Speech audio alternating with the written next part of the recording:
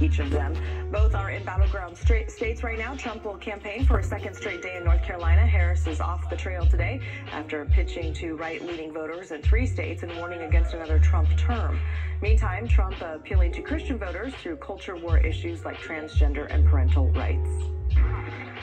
The consequences of him ever being in the White House again. Your religious liberty will be gone. Your free speech will be gone, your Second Amendment will be gone, and parental rights will be gone forever. Trump postponed a speech at a gun rights conference in Georgia today and scheduled a last minute rally in North Carolina, as some polling suggests Harris. What you say is not true. North Carolina. Whoever wins the White House next month, former President Donald Trump or Vice President Kamala Harris, will determine the tone and much of the substance of the relationship between the world's two largest economies, the U.S. and China. NBC's Janis Mackey Frayer reports now from Beijing.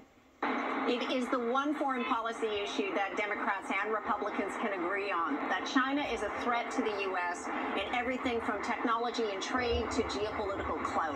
And while China is a perennial campaign point, we did an analysis of recent speeches, interviews, and rallies and found that both the Harris and Trump campaigns are now, just weeks before the election, ramping up their discussion on China. Kamala Harris has been criticizing Trump for selling out to China and giving up American jobs, especially in the auto sector, while Donald Trump has said he would slap huge tariffs on Chinese goods and that China wouldn't dare provoke him because President Xi Jinping knows he's, quote, crazy.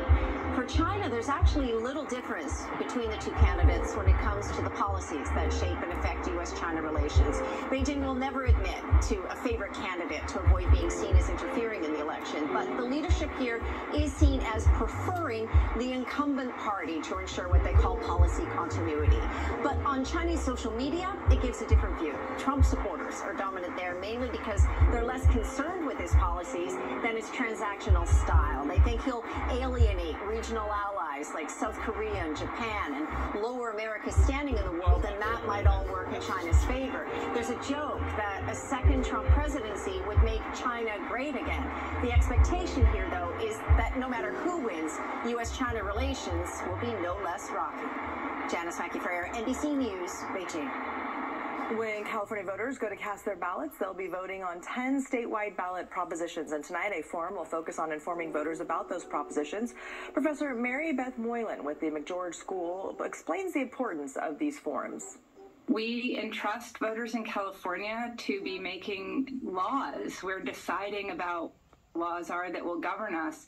And if we don't really understand some of them are very complicated by the way right they're they're pages and pages long they're highly technical and so it's really important as we are passing laws that will govern all of us that we actually know what those laws will do, what maybe some of the unintended consequences of those laws are, and also if there's likely to be litigation coming out of the passage of the laws. In other words, a lot of times these ballot measures get passed, but then they get challenged in court because they have some deficiency. Forum takes place tonight at the McGeorge School of Law at the University of the Pacific and will also be live streamed. If you missed yesterday's deadline to register to vote here in California, there's still a way to make your vote count. KCRA 3's Mike TeSelle details the safety net available to those who either forgot or missed yesterday's deadline to vote traditionally in this election.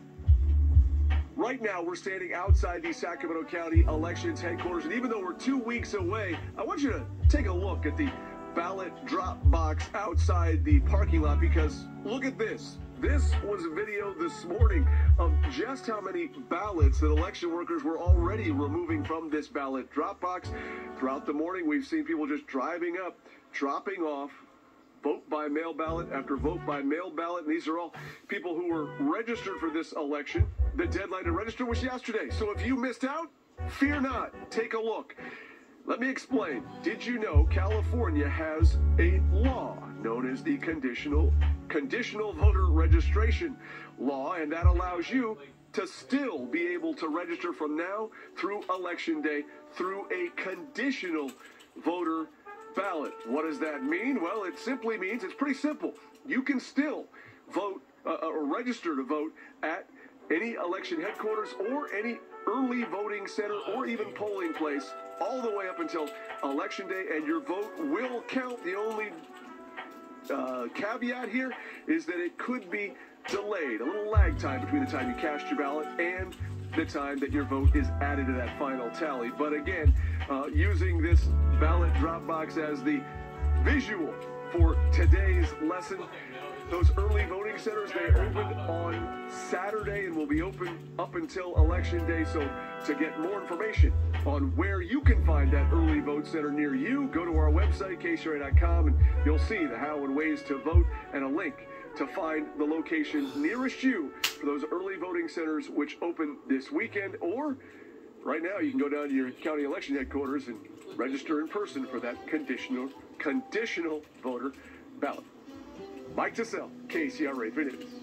Well, there are now 20 new recipients of the National Medal of the Arts. President Biden made the presentations in a private ceremony at the White House yesterday. Among them was LeVar Burton, who was raised in Sacramento. You may remember him from Reading Rainbow and lots of other TV shows. Other recipients include Queen Latifah, Missy Elliott, and Queen of Tejano music, Selena Quintanilla. She was awarded posthumously, obviously. The Arts Medal is the highest award given to artists, art patrons, and groups by the United States government. It honors exemplary individuals and organizations that have advanced the arts in America. And Selena definitely did that. Ironman athletes are rolling into the capital city right now. The Boost businesses in downtown are already